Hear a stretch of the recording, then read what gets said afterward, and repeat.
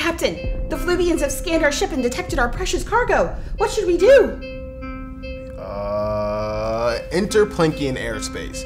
I doubt that the Fluvians will follow us there. Roger that. Anybody have any snacks by any chance? You ate all my anti grav snacks. You were stuck on the ceiling for 30 minutes. You don't sound so happy about that. Nope.